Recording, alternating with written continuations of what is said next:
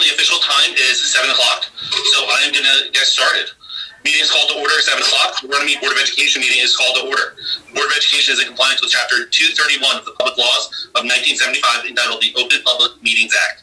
The time, date, and location of this meeting was appropriately advertised by notifying the retrospect, as well as posting notices in the Borough Hall, Runnemede Post Office, Mary Volz, Eli Bingham, Grace Downing School, and the Runnemede Public School District website. Will all of you please stand for the Pledge of Allegiance?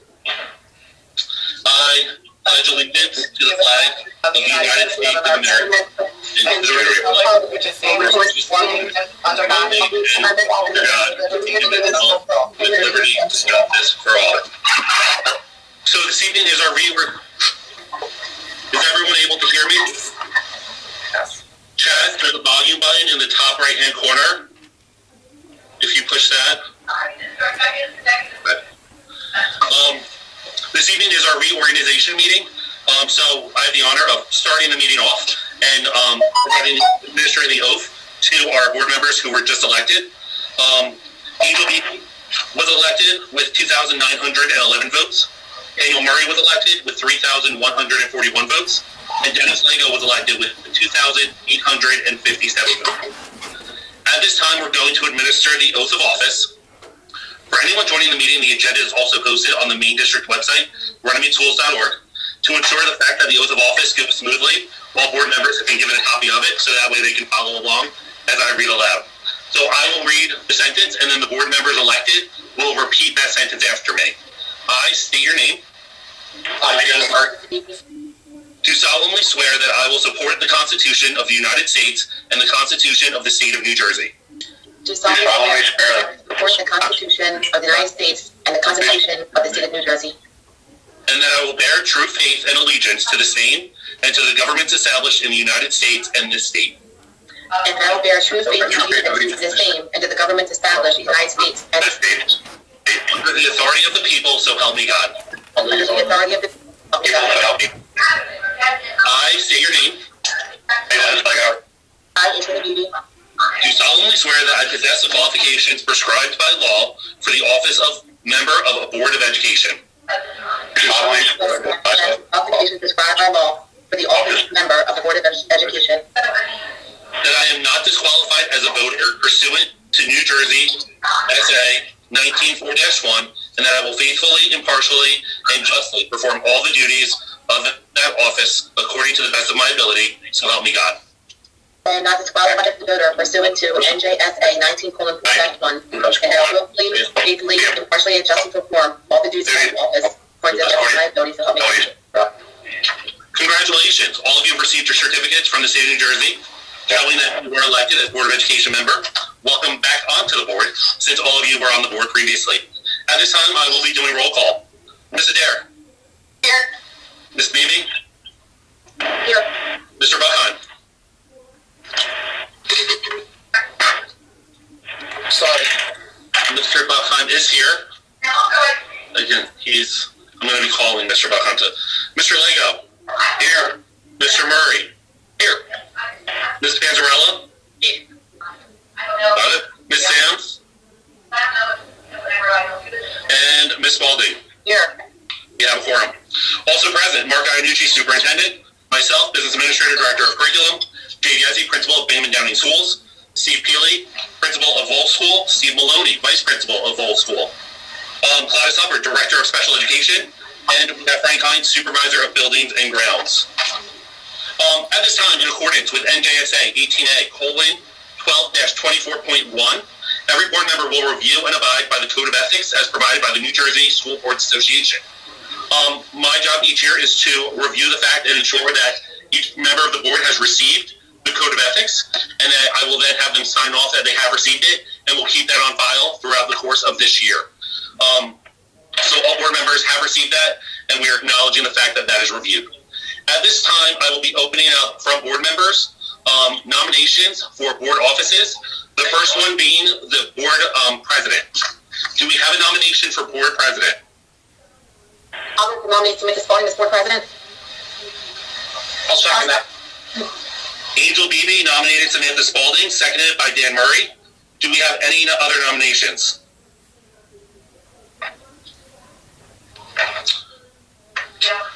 Seeing that there are no other nominations, um, at this time I will close those nominations and with a motion made by Angel Beebe and a second by Dan Murray for Samantha Spalding as board president, I will now do a roll call vote. Ms. Adair? Yes. Um, Ms. Beebe? Yes. Mr. Buckheim? Yes. Mr. Lego? Yes. Mr. Murray? Yes. Ms. Panzarella? Yes. And Ms. Spalding? Yes, thank you. I'm just checking. I can't hear you. You muted yourself. Oh, I apologize. I was just checking to see if Miss Sam's with us yet.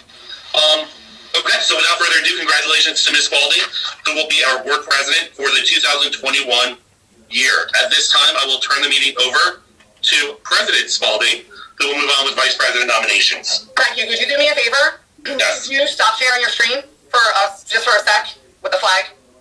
Do you want the agenda up? Um, that would be great, but when I, yeah, sure. You can share, you can continue to share your screen if you're going to put the agenda up for me. Even though I don't, my old eyes. All right. I'm going to look like a window here. Okay. So at this time, I need to, um, what do we got here? A motion for vice president. I, okay, I need a motion for vice president. Does anyone I would like to make a motion to nominate Dan Murray for vice president. motion made by Maria for Dan Murray? Do I have a second? I'll second it. Is that a second from Patty first? Is that you, Patty? Yes. Okay, I have um, a nomination made for Daniel Murray by Maria Panzarella, seconded by uh, Patty Adair. Do we have any other motions at this time? All right, so at that time, if there's no other motions, then I need a motion to. Um, Okay, you can, I, I got it. I got motions. We can go right to roll call. Dr. McCarron, I was in the middle. I caught myself. I was in the middle of a sentence. Relax. Hit the mute button. Mark, can you mute him? motion made by Maria and seconded by um, by Patty. We have, um, I need roll call for approval for Daniel Murray to be vice president. Ms. Adair? Yes. Ms. Beebe? Yes. Mr. Buckheim? Yes. Mr. Lego? Yeah. Mr. Murray? Yes. Ms. Panzarella? Yes. Ms. Spalding? Yes. Congratulations. Congratulations, Dan. Thank you. All right, so now we are moving on to reorg. So could you do me a favor real quick, Dr. McCarron, since you're sharing your screen? We need a motion to approve the calendar, um, the meetings for this next calendar year. Um, but I'd like, could you share the document, please, real quick? Hey, Barbie. So just so we know, we are sticking with, uh, if we choose to stick with this schedule here, um, it is the third Tuesday of every month. We will not have another meeting. This meeting, we can um, hold off until February. And the only other meeting that would not be that case is the, the one in April with the little asterisk next to it. And that's due to the regular meeting and public hearing of 2122. Dr. McCarron and Mr. Iannucci, we are going to keep July in there just in case. Is that what we're doing like we did in previous years and cancel if we don't have any business? Yes. Hopefully we have a better summer this upcoming summer. We don't need that meeting, but if we do, we'll be there. Um, any any questions or issues or concerns with that calendar? Nope. Um, okay, then great. Then we um, will go with uh, make, make a motion to approve the third Tuesdays. Could you go back to the agenda, McCarron? Please.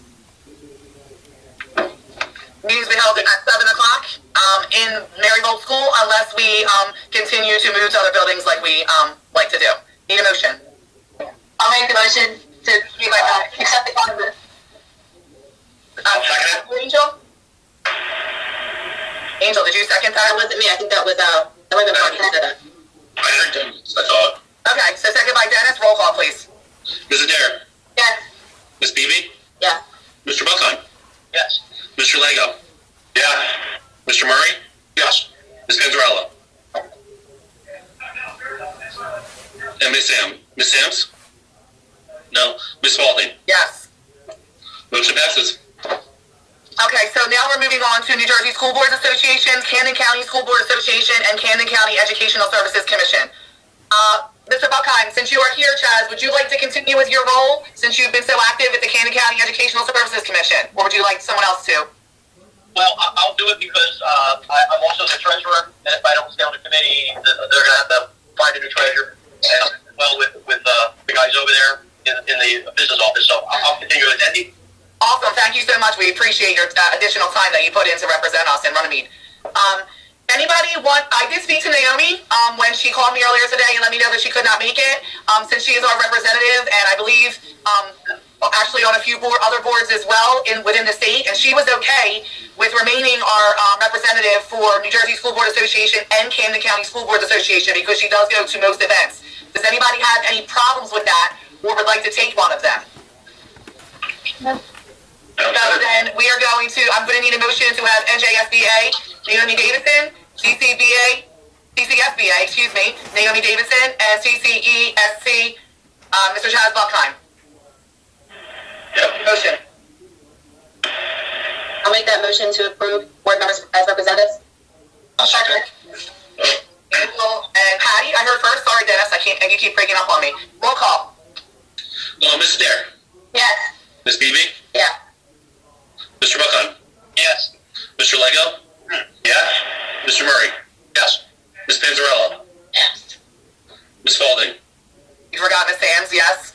Yes. Ms. Lee, oh, okay. Yes? Yep. and Ms. Spalding. Yes. Motion passes. At this time, we need approval, approval for the minutes of the regular meeting on December 15th.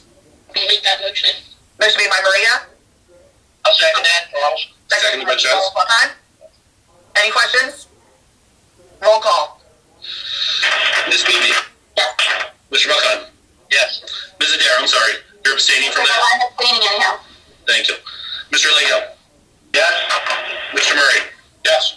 Ms. Panzarella, Yes. Ms. Sands, Yes. Ms. Spalding. Abstain. Motion passes. Would you please scroll down a little bit for me? Absolutely. So now, I'm going to mute myself, and you are going to present the 2020 audit. So for the 20, um, 20 audit, the audit is officially completed. Um, our auditors come in starting usually in July when they start their work um, for the end of June 30th, 2020. And the audit was just completed this past month due to waiting for um, general auditing practices to be put out by the state as far as what they are required to follow or any changes that are there. Um, as a part of the audit, they look at our general account, our agency accounts, our student activity accounts, our food service accounts, also our before and after care, and all business business practices throughout the district as far as how things are procured, how items are received. Um, for this year, for 2020, there are zero audit findings, so there are no corrective action plans for this year. Um, I would like to thank all of the staff members who were involved in any aspect of the audit. And I would also like to thank, especially my business office, for all their hard work and making sure that everything is ready and prepared for the auditors when they come in. Because even when they leave, they always send additional emails and have additional things to say. Um, so at this time, there um, there will be no corrective action plan. The only thing you are approving this evening is that you have received the audit and that you are aware of it, so that way we can submit it to the state by February 4th. Any questions? Okay. No questions here. I just thank you and your staff for all of your hard work. Thank you very much. Yeah. At this time, if there's no um, questions for Dr. McCarron, I'm going to move on to recognizing any public comments. Can I just, sorry to interrupt, um, I we didn't have a chance to add on the agenda, but I just want to add some correspondence real quick, if I could. Sure. Um, over the break, we received from the Fifth Legislative District, from, as you know, uh, William Mullen, our, William Moen, our Assemblyman. Um, so I'm putting Ms. Yazzie on the spot right now. Um, I'm just going to read on behalf of the Fifth Legislative District. We'd like to congratulate you on receiving a Community Partner Award from, from the Girl Scouts of Central and Southern New Jersey. It is an honor to represent constituents like you who continually work for a better our community. Congratulations on this accomplishment. I wish you, you continued success. I also sent Ms. Yazzie a nice bound resolution from the Senate and State Assembly. Uh, it was a joint legislative uh, resolution that I will present to you tomorrow um, when I run into you, obviously socially distant. And uh, hopefully you can hang that someplace special. We'd love to congratulate you for all your work that you do in um, generating interest in the Girl Scouts. So thank you very much, Ms. Yazzie, for that. On behalf of the 5th District. Uh, congratulations. you. I appreciate it. Thank you. My pleasure. So at this Thank time, anything else? No, thank you. Okay. At this time, we are open for public comments, but the comments must be on agenda items only. Just please unmute yourself if anybody has any comments on agenda items at this time. It's silent on my end. Um, so superintendent, correct me if I'm wrong, superintendent's reports and business administrator uh, curriculum, director of curriculum report will resume in February. Uh, yeah, I'm going to give a quick couple comments if I could, and then I'll send you a more developed report. Um, but I did prepare a few things. Um, good evening, everybody, and Happy New Year, obviously. Um, just want to take a moment to pass along our condolences to the Sylvester family. Um, as many of you know, um, losing a student is never easy, um, and we just want to pass along our deepest sympathies um, regarding Luke. He was such a great kid, and we know the community's come together to respectfully um, support the family. I know some of the staff members already organized some uh, things to do some things for the family moving forward. So we'll keep up to date on that, but we just want you know that you are in our thoughts and prayers moving forward. Um, this week, the students and staff returned virtually on Monday to resume our current instructional model. Um, over the break, we were able to fix devices and distribute school supplies as needed. Uh, to prepare for this upcoming instruction, reminder our families and food distribution is still taking place on Wednesdays from 10 to 12 adults. Uh, please make sure you do fill out the weekly survey that's sent out to ensure your name is on the list. Um, again, our, our, holiday committee did a great job distributing food baskets and gifts to family on Wednesday, December 23rd. Um, thank you to all our counselors and nurses that organized that and um, got those things out to the community. A special thanks to Mr. Matties, who um, met me at Volz on Christmas Eve so we could get the last of the gifts out for a family that was displaced so they could get the gifts out to those kids. I want to thank her for taking her time you know, on that day delivering those packages to those, those kids. Uh, we're happy to officially accept that Dick's Sporting Goods Sports Matter grant. The $5,000 check was sent to us last week. It's already deposited in our accounts. I know we are looking forward to spending that. Um, finally, I want to review and discuss our school schedule moving forward. As you know, we face many challenges this school year and obstacles presented to us. Our main goal in planning is always the health and safety of our students and staff. We create a plan over the summer with the resources at hand while navigating building space, new protocols, and staffing challenges that impacted us on a weekly basis. We believe we, we did the best we could with all the factors and difficult choices we had to, had to make. We made changes to enhance our instructional model on a weekly basis and appreciate the feedback we receive from those in the community. When we return to in-person instruction, we will see an increase in student and teacher live instruction opportunities where we can. The building administration and teachers will continue to look for ways to do that. We all agree that students need to be in school like they were prior to the pandemic. However, we know this is not possible under the circumstances we currently face. Um, we've used the data guidance from the local, state, local and state health departments to safely get students and staff back into our buildings. One piece of information we use is the weekly COVID activity level report, along with the COVID regional, mis- regional risk matrix, excuse me. And this provides data and public health recommendations from local health departments and schools to consider based on the level of COVID tra- transmission in our region. The two pieces of information we take from the county report are case rate, based on new COVID cases per 100,000 residents, and percent positivity of COVID PCR tests that are monitored on a seven-day average, and provide measurements that give us the current activity level. Case rates greater than 25% is considered very high. Percent positivity between 10 and 20% is considered high. When we shifted in November all virtual remote model, we were in overall orange, which is a high risk, cat- a high risk category, in which the guidance recommends considering implementing full remote learning. We are still in the orange as of last week, and the numbers remain high. The impact of the holidays and the culmination of gathering over the last several weeks have led to increased numbers so we're still keeping an eye on that. Combined with the latest guidance that requires those with COVID and positive results and those with compatible symptoms, those who are in close contact are required to quarantine, I'm recommending that we delay the start of in-person instruction until at least February 1st, 2021, and continue to monitor the numbers and evaluate the situation. Um, we have been meeting on a regular basis, and I try to keep the board up to date, um, and we're trying to base our decisions off of data and what we think is in the best interest of everybody. Um, I've heard a lot of positive feedback with, with the all-remote plan. Um, we've had some parents shift from the hybrid to the all-remote plan with that. Um, so that's what would be the recommendation I'd like to make, and I'd like any feedback from you know either the board or administrative team. I know we've met over the last couple weeks, um, but I'd like to uh, get feedback from any of you at this time. I have a question. Sure. So maybe I mean I was ill myself, so me so forgive me, but this is the first that I'm that I'm hearing this. Maybe I don't know if that's the case with other board members as well. Um, so could you tell me what made you extend it? Like, what did you just? Well, I'm just, I, am not, it would be a recommendation. I mean, I'm not saying that that's what my recommendation I make. Um, I just, I would just like feedback. I'm just, I'm concerned with the numbers from the reports we're getting. Um, you know, well, what, that's my question to you. So, what, what would make you? What data are you assessing? That Sean, could you pull that? Could you pull that? Um, yeah, that would we work on today. That would make you extend it. Hold on one second. I think it's difficult for me right now to process um, and, and make and make a decision. Although I do want to hear how the decision was made, and I want to know. My question to you um, was going to be if we are changing when we notify parents, because that's always my main concern. Parents are working full time in our community, yeah. and um, we need to give them ample. Well, as I put it, when I put a letter out last week to the community, I said we'd like to have a decision made by uh, January 8th. Mm-hmm. Um, and that's part of you know, this discussion tonight is going to kind of kind of drive some of that decision making. Hold on, I apologize. I'm looking for that now. That's yeah, I, I, I saw this earlier, but just keep, keep it up for everybody else. But is this the only factor? Is this is this data the only factor that um that that you're making that suggestion off of? I mean, that, that's a piece of, I said, that's a piece of the data that we use. We also take the recommendations. I have a meeting with the county health department on Thursday and again on Friday. And again, when, we shifted into the orange phase, the recommendation is to, you know, shift into all remote learning. we haven't gotten to that red phase yet, which is it's, it's fortunate. But if you take a look at those numbers with case rate um, and that percent positivity, it, it's you know those those are two of the factors that they're using uh, when we meet with them on a weekly basis. So every week they'll send you that those reports. So that's usually from the previous week. Sean, can you scroll that up a little bit?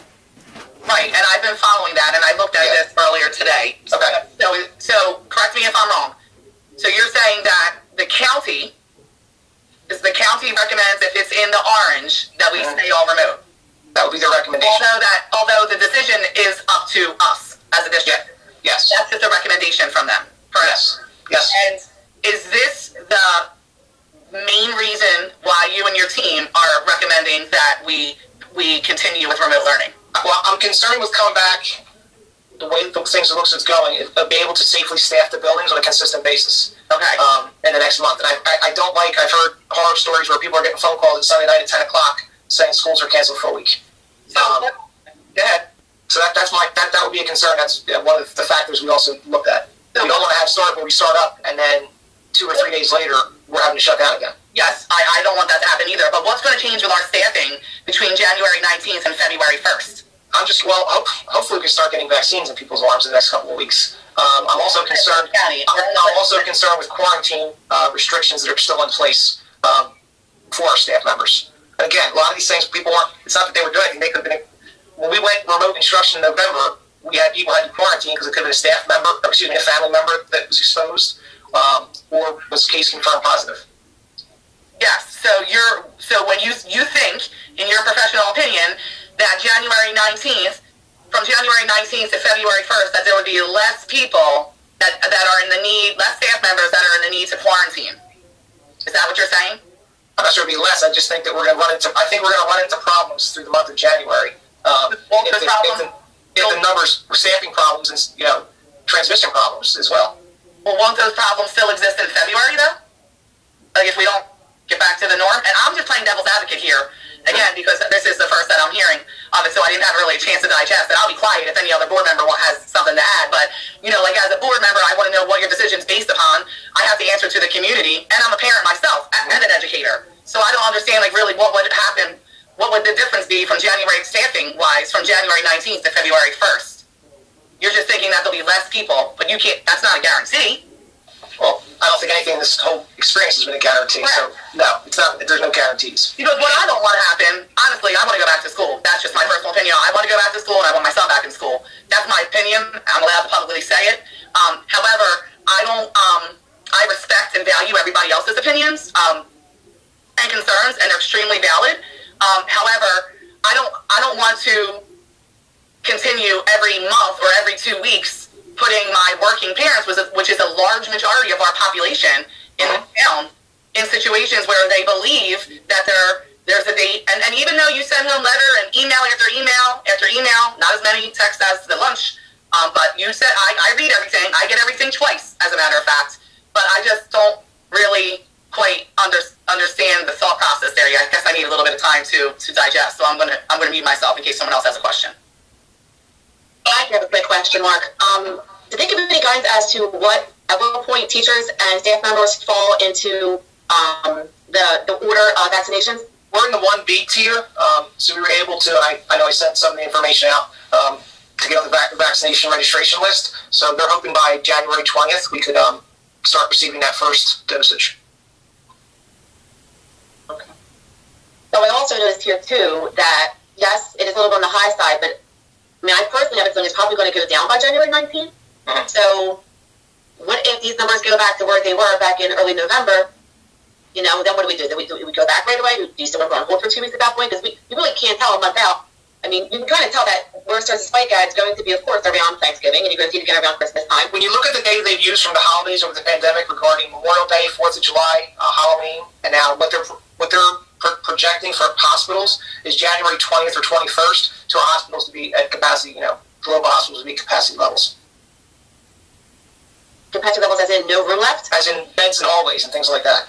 Oh, okay. I have not heard that. That's why I was, uh, I was, I I, have two of my neighbors are nurses, one at Jefferson and one at Cooper. and I've had these conversations over the last couple, you know, over the last couple of weeks, and that's a concern when you're looking at the information from um, other holidays and things like that. One other thing I will mention that will be different when we do return than when we were in school hybrid previously is also the fact that the Department of Health has also informed schools that they cannot be fully responsible for all of the contact tracing. And that's correct, Mark? Mm-hmm. So that would mean that the schools are then responsible for the contact tracing. So that would look different when we go back. And I can tell you from my own children's school district, many times schools have had to close if they didn't have the full report done for contact tracing to determine whether or not what's what was taking place, whether or not it was a school related event or a non-school related event, and whether or not the community members were participating well with that. So it will look different for our nurses as well once we go back to hybrid because of the fact that an administration, because contact tracing will be done differently, but in conjunction with the Department of Health. Sean, this is Charlie Buckheim. Can everyone hear me? Yes. Okay. Um, I just want to interject as far as kind of what Mark was saying. You know, being retired, being home, having uh, surgery in the past month, and not being able to get out and do much. I get to watch the news throughout the day, and all the top doctors in the United States believe that the number of cases are going to increase during the rest of this month because of the Christmas holiday and the New Year's holiday of people getting together. So, you know, we all look forward to the day when we're back to school five days a week all day. Amen. I agree with, uh, with you there, Samantha. But I think right now, uh, we're probably not going to see those numbers drop off maybe for another month or two, unfortunately, because of the, the number of people that travel and the people that still are knuckleheads and don't think this can spread and they can get together with 25, 30 people. Uh, so, you know, I, I've seen different news networks with different doctors, uh, top doctors, and they feel that it's going to subside, but not until we get more people vaccinated and we get through the problems that are going to be created by the, the Christmas and New Year holidays.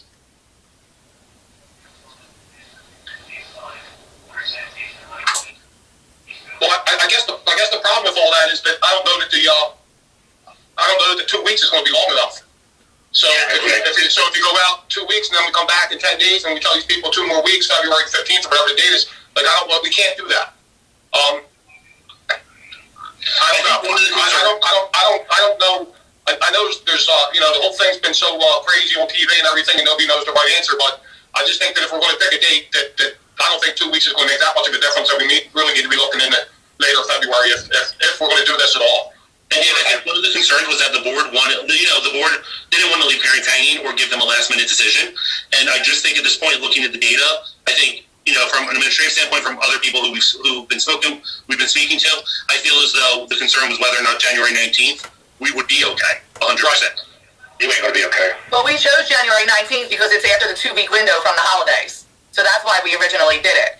And I agree 100% with, with what you said, Angel, Chaz, and Dan, but I don't feel like coming in here every two weeks. Like, I feel like we have over, you know, we got 70 something percent, correct me if I'm wrong, 73% of our students on a hybrid model, correct?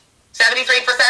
Over 600 of our students were on a hybrid model? Don't make them eyebrows at me. How many, how many? I would, have to, I would have to pull the current number. I don't have that number in front of me. The number may have changed, but when we started, that's where we were at. We were about 75%.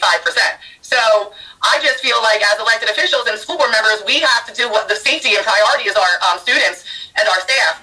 But I, I agree with Dan. Like I'd like want I want like a concrete, you know, like if, if we're going to say February 1st and I want to have an emergency meeting and I want to have a January meeting and I want to I want to look where we're at and I want to talk about where we're at and I want to make a decision. I don't want to keep going every two weeks for the working the working parents in this community. I mean, of course, I believe that this board is going to um, respect the wishes of our administration. However, I don't want to keep I don't want to keep doing it every two weeks. It's just not fair. And I understand. Believe me, my family personally went through it. Um, however, I, I, and, I, and I understand, but you know, not everybody is as fortunate as everybody who's speaking right here to have the help and guidance and support at home. And I'm thinking about our students and our community members when I speak. So is this on the agenda tonight or not?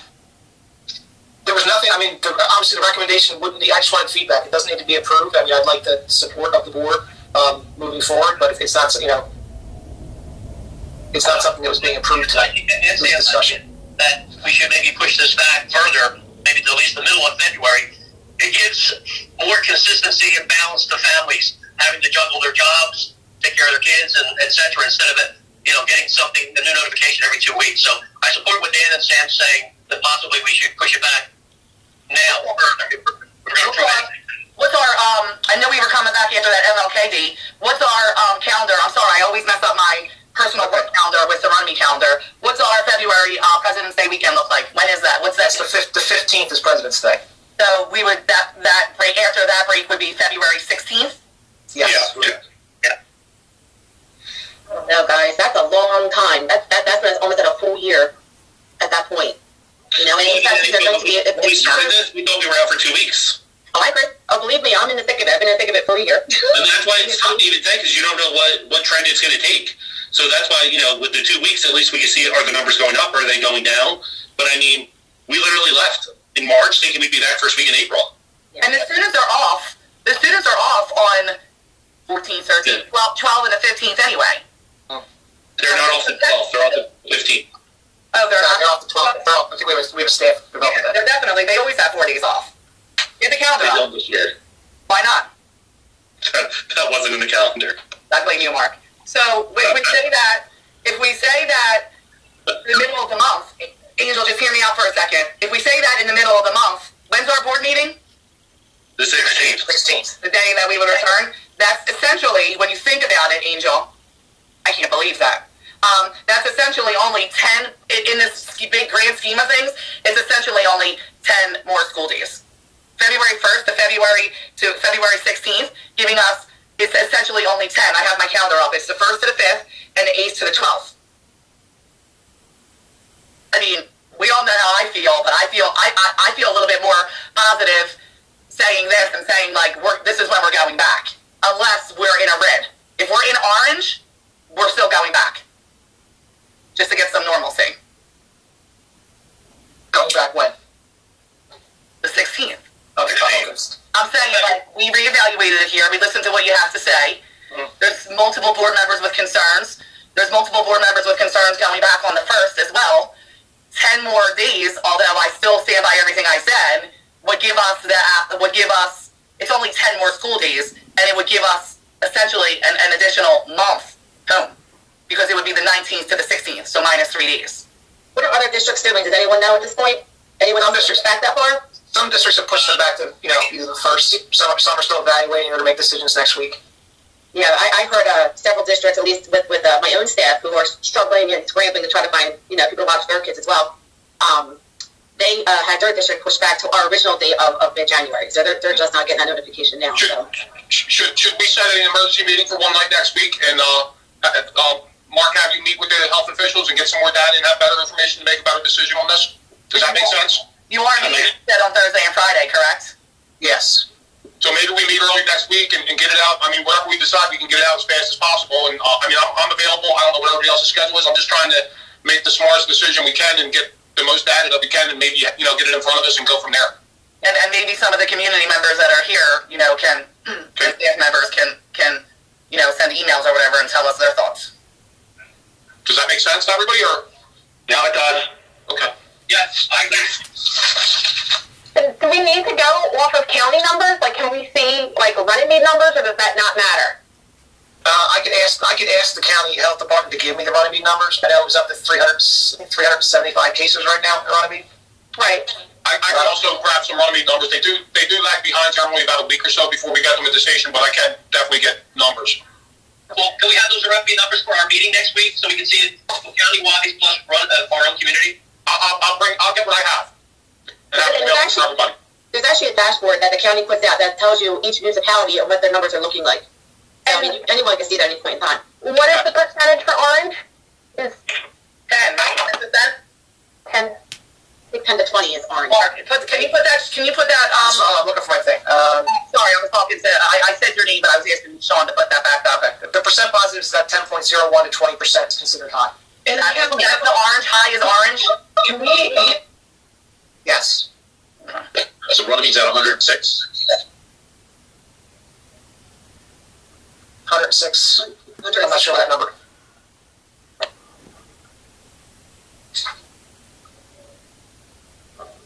I don't know who said that because I can't see everybody that's here.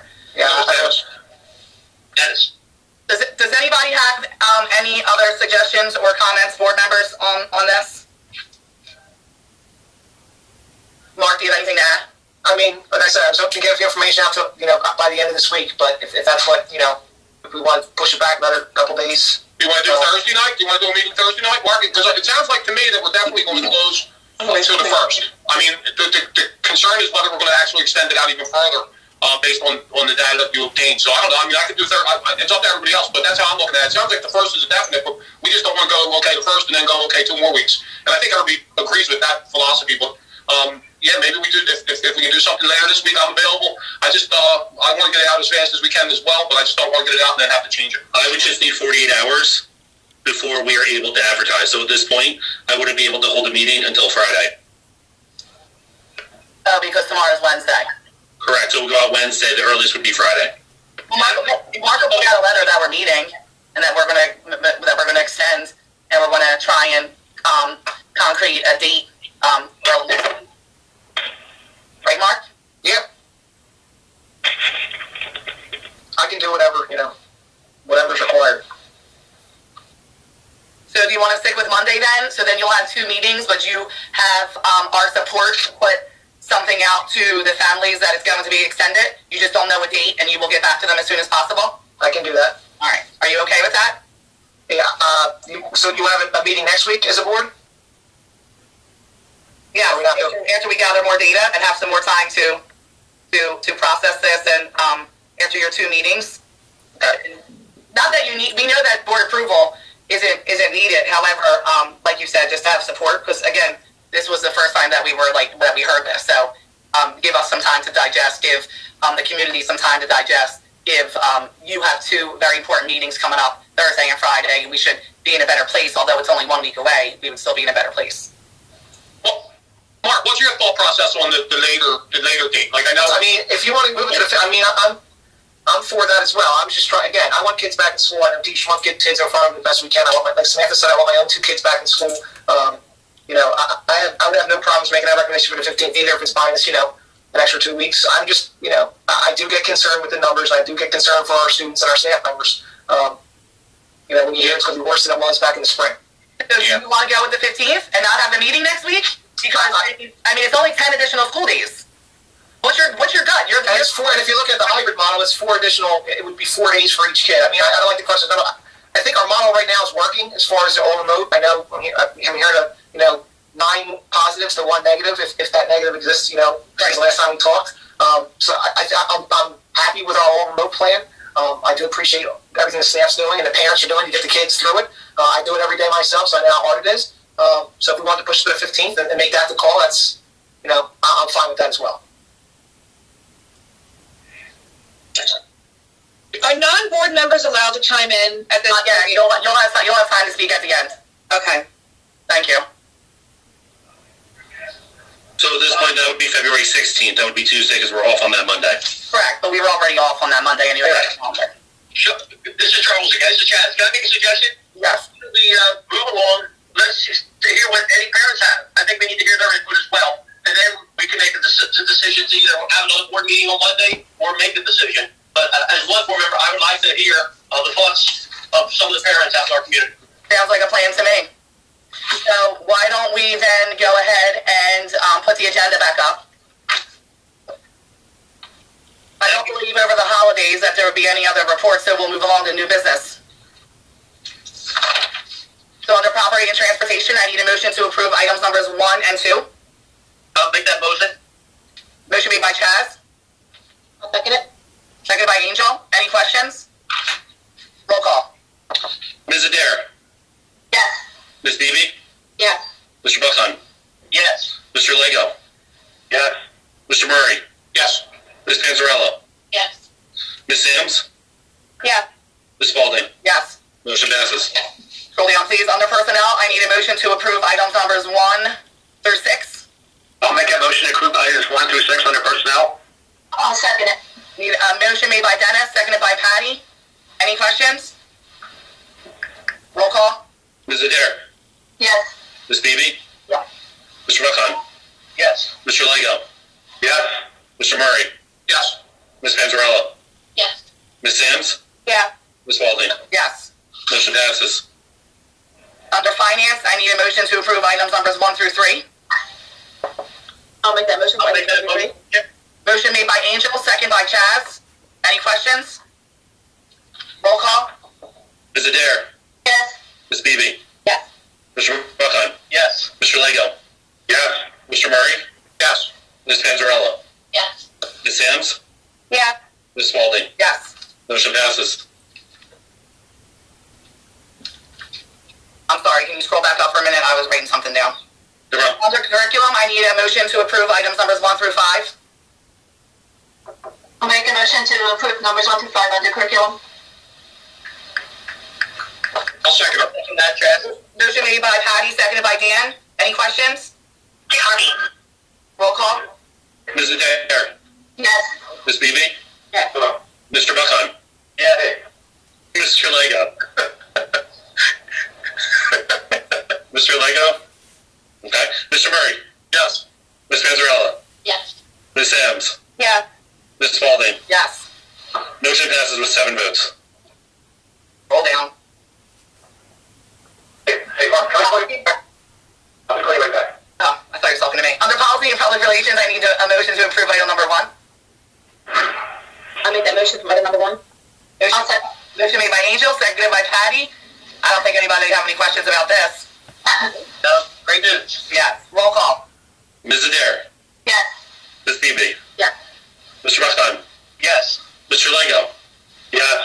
Mr. Lego, do you approve curriculum also? Yes. Okay. Mr. Murray? Yes. Ms. Panzarella? Yes. Ms. Sams? Yes. Ms. Spalding? Yes. Motion passes. All right, so at this time, we are open for public comments from citizens and staff who may be on the meeting. And I do uh, value, we all value your, um, I need you to go back to that, please. Sorry. Just because I want to make sure, not that we would ever try to cut someone off or um, not say that your um, opinion or voice shouldn't be heard or valued, but there are some um, um, pro, there's protocol to put it back up. Dr. McCarron, please. There's Sorry. protocol you see on the agenda um, that is limited to three minutes per person. And if you, when you're called on by Dr. McCarron, um, or like we'll take turns. Um, if you can just make sure that you state, I'm, I'm kind of just paraphrasing, that you state um, any uh, like your name and address, and also that when you're speaking, that you're not you're you're speaking like your opinion. You're not bringing up any type of um, complaint or formal complaint that you may have or an issue you may, you may have with a teacher or a staff member. That's not this isn't the time or place. There's a proper chain of command for that. Um, but at this time, we are open for public comment. Sorry, Dr. McCarron. Thank you. No problem. I'll go. So my name is Heather. Um, I live at 843 North Reed. My son is Nicky. He goes to Bingham. Um, I appreciate being given the Heather, I'm sorry. I'm sorry, Heather. What's your last name? Oh, Capell. Capell, thank you. C A P E L L. Um, so I appreciate being given a chance to speak. So, a little background about me: I'm a registered nurse. Um, I have a unique situation where I actually work in New Jersey Transit, and I have been heavily involved in our COVID response and ta- task force. So I've been following the numbers a lot. Trust me, I report out positives. I talk to people.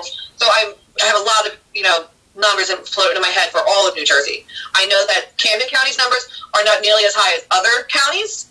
Uh, we are probably number eight out of all the counties. I think last I checked. Um, I think that towns like Camden, Pennsauken, Voorhees, Winslow, um, and a couple of the other bigger towns have skewed the numbers because they, like, I think Camden's at like 2,000 plus, maybe more at this point.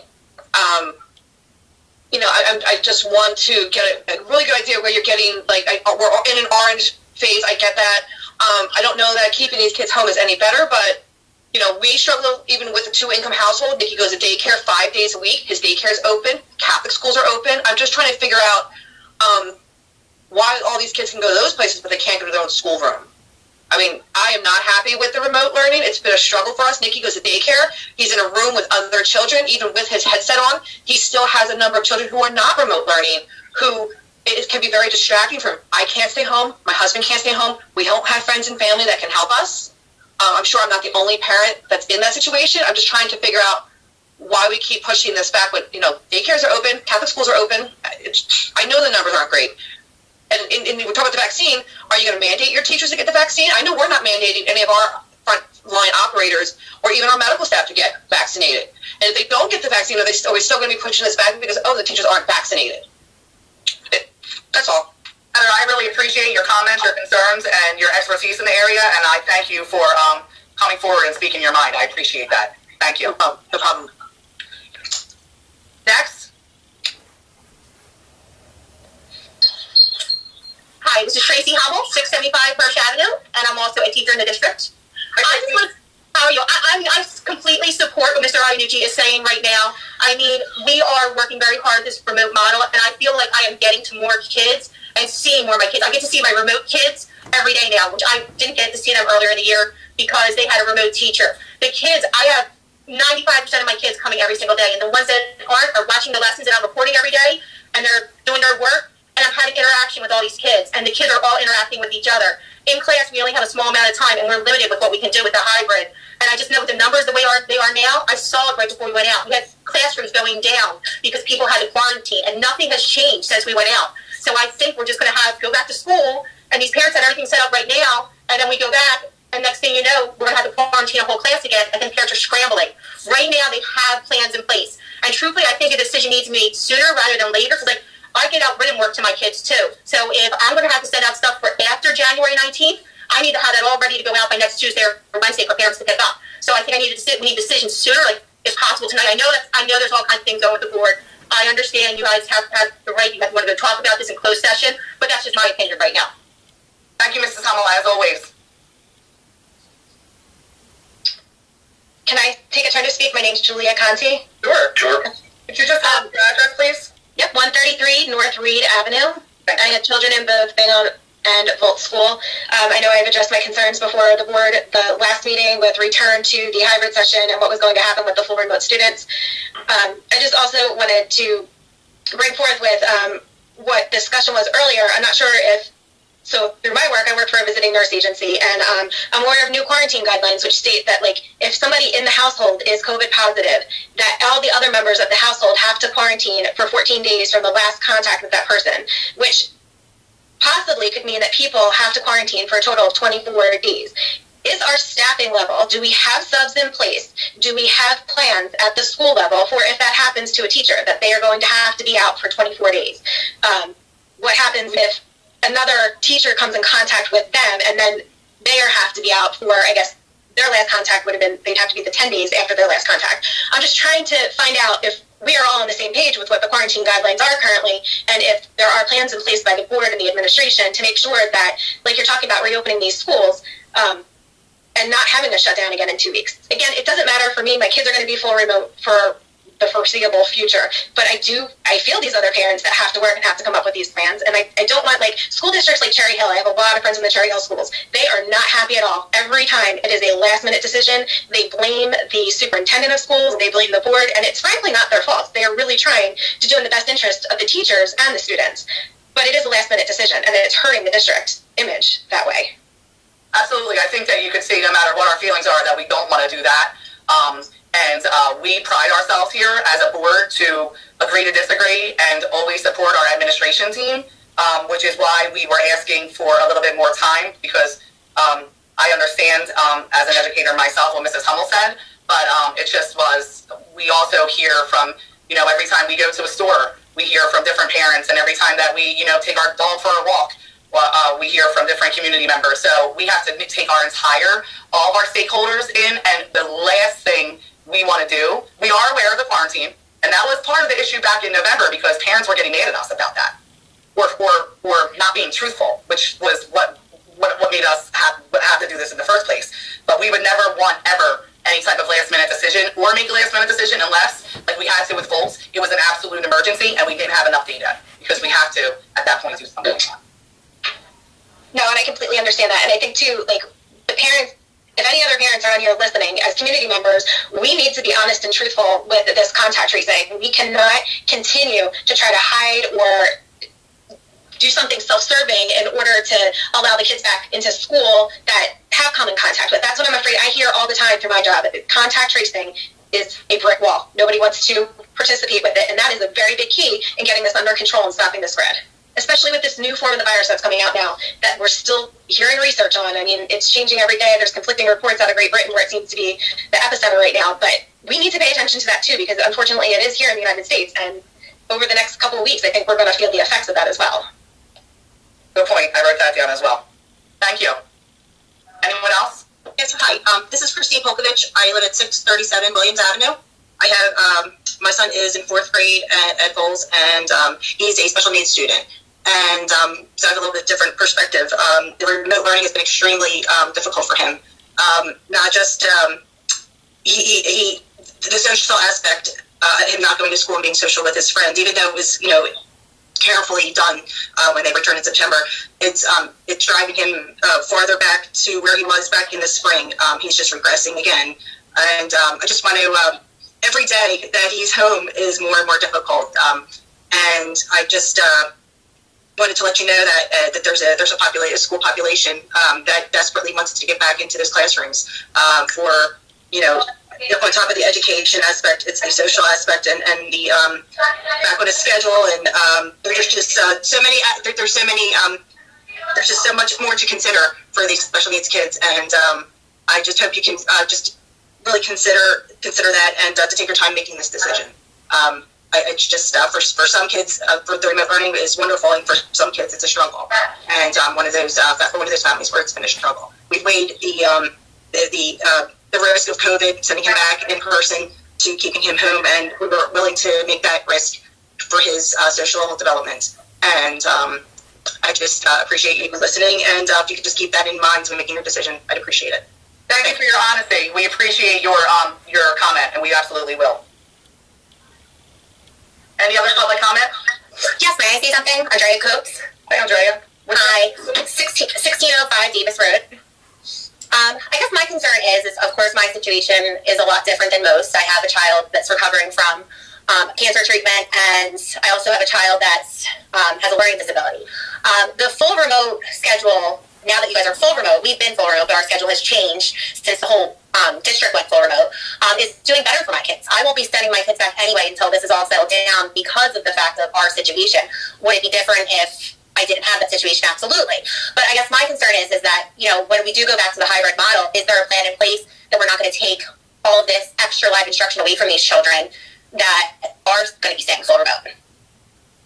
Um, Doug, do you want to comment on that, Mr. Iannucci? Because I guess sure. I mean, when I made the comment earlier, I said we've been looking for ways to enhance um, the remote model for all the kids, whether it's the hybrid or all remote kids. So we will be adding layers of um, live instruction for students, um, you know, on a, on a, daily basis. That's something we've been working on, discussing with the administrative team, um, and different aspects of the way to do that. It's a challenge for the younger kids. I mean, you all know having kindergarten students who have a computer for seven hours isn't realistic. Um, so we're looking at ways to do that. But we are going to enhance the, the live instruction and keep that format. I'm not going to say it's the exact same 100% of what it is right now, but it will be uh, similar to what your what your kids are seeing now.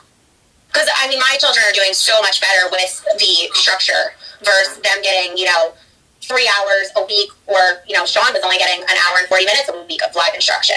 Um, so now that they're getting, and they're not on the computer all day, they have breaks in between, and I, I think that you guys are doing a great job with the full, the new full remote schedule, um, new to us. I guess I'm just very concerned that like I don't want my kid's life again to be completely. You know, I want some normalcy. I don't have the choice to send them back to school, and I wish I could. Believe me. the, the, the, model won't be what you saw in September through November. It will be enhanced with the live instruction uh, when we do come back. Okay, thank you. Thank you for speaking up. Appreciate your comment. Anyone else have anything to say?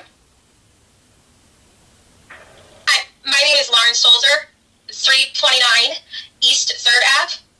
Hi. Um, and I just want to talk as a resident and as a uh, teacher in another school district. Um, I, I, know when we went full remote, we did it last minute. Got the notice at 10 o'clock in the morning, and we were full remote. Um, that was on a Friday, and we left school at 2 o'clock, and that was it. We went full remote at that time, so I do appreciate you guys taking the time to analyze the data and look at the data. Um, and I want to say thank you to all the teachers who are out there and juggling and mixing all this. I have done every single format of teaching so far, from HyFlex to full remote, so I see the pros and cons of all of it. Um, and I appreciate you guys taking the time to look at the numbers for the impact that it has, because I know from our aspect when our school went, it was because we went code orange. And with that, the who had to quarantine changed, and we didn't have the staffing and the subs in order to cover who then would have to be due to uh, quarantines. And I've heard even since then schools are open that had 16 students come down, therefore having to quarantine, you know, 60 staff and students because of where these students were placed. So I know that this is a very complex issue, and number-wise, to, to play the uh, the forecast of who would have to quarantine. Um, I know that that does come from a full part because I know teachers want to know the plan because uh, I I don't know what I'm teaching next week because I don't know what our plan is yet. Um, and I know parents want to know because parents want to be able to plan for that as well. Um, and I echo the other parents who are saying, you know, liking the full remote because it's giving our full remote students more instructional time. And I feel for the students or the parents who have students of special needs. Um, and I know some people have already kind of tossed out there looking and changing things. Um, and I know you guys talked already about the full remote changing of how that's going to look when we do go back. Um, so I just wanted to say thank you for taking the time to look at this from all the different angles that are out there because I know it's so complicated. I did want to know one of the big things I was concerned about was the eating in the classroom, the removing of the masks, and we were told that there were going to be air purifiers in the classrooms with the um, ionizations. I didn't know if there was any progress on that as of yet because I know they were all backordered into October.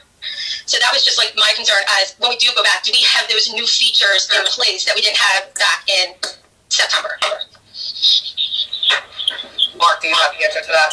Um, I, I don't defer that to Frank Hine just with the supplies coming in. Frank's still there. So I'm sorry, just to uh, Mrs. Salter, just so um, the I asked uh, the superintendent to answer, and he asked our um, director of maintenance to answer. So Mr. Hines is going to be the one speaking to you. We have a uh, all of them came in. They were all installed into the classroom. So when they come back, every classroom has a air purifier in now. So there's no there's no classroom in, in um, Downing or Bingham um, or any other classroom that every classroom has one where kids will be eating. Yes, we purchased one for every classroom where kids are eating, and they are actually they are installed, ready to go. Thank you. Thanks, Frank. Thank you for um thank you for your comment as well. Thank you. Speaking up. Any other comments? Dr. McCarron, on my end, I don't see any. Do you see any others? Okay.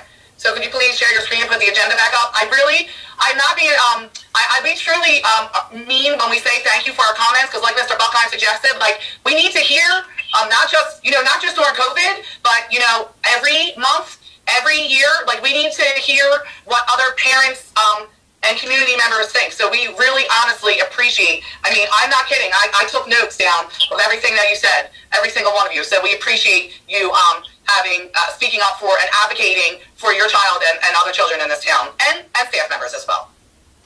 So, um, do we? How do we want to move forward? Board, Chaz, Dan, Angel, Maria, Patty, Barbie.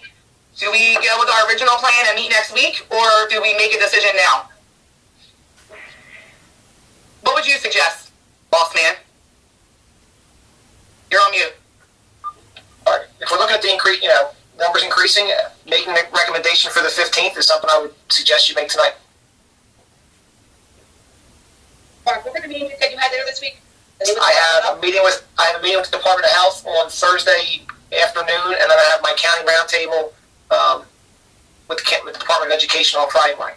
So that's all the superintendents in the county for every school district in the county. Um, you're meeting with on Friday. Mm-hmm. And listen, I don't mean to sound rude when I say this, but we care about Runnemede and what happens in Runnemede. Not, not that we don't care what happens in other. Yes. Our main concern and our main focus is our students and staff here. Mm-hmm. The only positive to waiting would be to see what happens at those meetings. Although we put ourselves first, of course, we always will. Sometimes some ideas may come out of those meetings. So, I mean, it's your call, but you know, I would be inclined to uh, wait and see what DOH says. Um, I think there might be some more information coming out uh, in reference to vaccines that maybe hasn't been said yet. So, that's my call. I support whatever decision you make. Uh, from my perspective, I, I agree with Angel there. Uh, and after hearing the parents, uh, I would like us to wait till Monday to make a final decision. I do feel that probably my, my feeling is to extend it to the middle of February, but can we can we also possibly see what we can do additionally for the parents that have a, a child with special needs that needs some, some additional help if we do extend it? Dan, you good with meeting on Monday? I, will be honest with you. I'm sorry. I have a meeting for my uh, the district on the school board um, on Monday, so I'm not available on Monday. Are you available Tuesday? Yes. Is everybody else available Tuesday? And Tuesday we will make a decision and put it out to the public. I'm available. I'm not available. I'm available. I'm available. Okay, so why don't we why don't we do that and it gives us ample time to do some research and data and take all of the in um, and if anybody has any additional comments or concerns, you can feel free to email them to um, all board members have an email address, uh, or you can give them to our superintendent, and who will forward them to us with your permission. And again, we thank you. What time would you like to meet Tuesday? Tell me. I don't go anywhere. Here, here I am. Wait, what do you tell me? You want to do it earlier? You want to do it later? It's going to be virtual. Doesn't really matter to me. I work till 2.15 like the other members can make. I mean, we can make. I don't it. think that I, I, want to speak on behalf of my friend and longtime uh, board member, colleague, friend uh, Naomi. I don't think she can get here before six thirty. Okay. So I would I would be remiss to start it anywhere before six thirty. But I would start at six thirty. working out of the hand still. Okay. Is everybody okay with six thirty? So Sean can make the copper. Um, we understand if some of the admin team can't make it. Um, that this was sprung on you um, pretty quickly. So our meeting then will be uh, our special meeting in regards to looking at data will be um, on Tuesday at six thirty virtually. And then are we still planning on meeting virtually, um, Sean on February sixteenth as well? I mean, our students are going to be back in the building, so I don't, I don't really feel like we should be meeting virtually if our students, and if we're asking our students and staff to go back in the building. So as of right now, we will. Go ahead, Mark. I'm sorry. Uh, so that's what that's that's the philosophy we, we followed back in uh, June and July. The February sixteenth, and if we are, if our students are back in the building, we will meet in person. Using our proper social distancing and masks, of course. And Samantha, with all the changes that have taken place since April, we've done a new advertisement each month with any of those changes that have taken place. So we would just do that Awesome. if needed. Any, any, anything else, board members? Anything? Yes, so Chaz, uh, could we have the, the updated data sent to us by Monday evening so that we can carefully review it before we meet Tuesday? I'll have it sent to you probably by Friday, Chaz. I, mean, I, I usually get that information from the county. Would that be the most current data? It comes out every it comes out every Thursday. Um, You don't have to email us at four AM in the morning, Mr. Iannucci. Okay, I'll wait. Please. Okay. So if you need to wait, if you need to wait until Monday, no one's going to be mad at you. I will make sure I push that back on Friday a little bit later. All right. Um, at this time, I need a motion to adjourn. I'll make that motion to adjourn. Motion made by Dennis. All, uh, second. I'll second. Second by Patty. All in favor? Aye. Uh, Congratulations to Dennis and Angel and Dan, my new VP. Look forward to another successful year. Have a great night. Good night, everyone. Bye. Bye.